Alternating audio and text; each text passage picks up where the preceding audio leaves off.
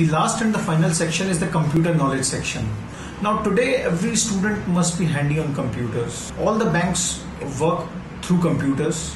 Every bank employee has to know has to have a compatible knowledge and information about computers. So this is the reason why computer knowledge is essential to, for any banking exam, for any banking aspirant. That's why they test it. So what is important is that you should be clear about the basics of the computer, the hardware part, the software part, the programming languages, structures. You must be aware about the operating systems, what kind of operating systems are used, how they are used. If you have worked on computers, it is it will be really beneficial for you because a lot of questions are asked on the working. Uh, if this happens, then what do you you do, these kind of questions are asked, then you must be handy with Microsoft Office, PowerPoint questions are there, Microsoft Excel questions are there, Word questions are also asked sometimes. So these are the certain things which you must take care of and which you must be well aware of because until unless you read about these things or you work on computer hands on, you will not able to answer these questions. So it is important that you must spend around a month or so or so or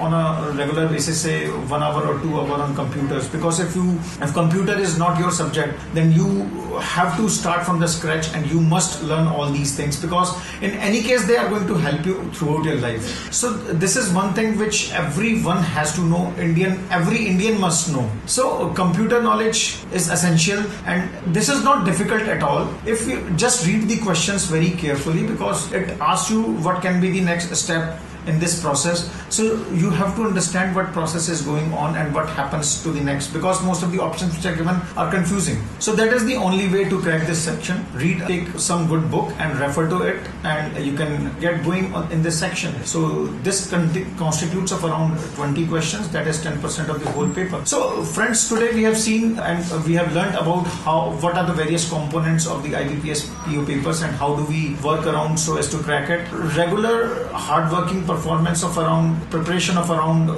four to five or six months should be enough to crack this exam. The cutoff last year was very low, 61. That is around 30%. So you must pull up your socks and prepare hard for this exam. We have uh, for your help certain books which can easy, which can help you and which can make this exam very easy for you. One of the books, two of the books I've already talked about. Another book is Target IBPS PO uh, that comes with a CD. Again, the link is here. You can uh, go to this link and refer to the information. If you like it, you can buy this book. In this book, what we have given is we have given you 15 practice sets. So uh, what happens is you first prepare with the help of a guide. Then uh, in the end, you can take the help of a practice workbook in which full tests are there. So that you know exactly your performance, you can uh, devise your strategy, which section to start with, you know, which questions to start with or how to uh, spot the easy questions. You can try out all these things. So this uh, book also gives you an opportunity of attempting four question papers in the form of a CD, which has been given uh, along with the book free of cost. The screen of the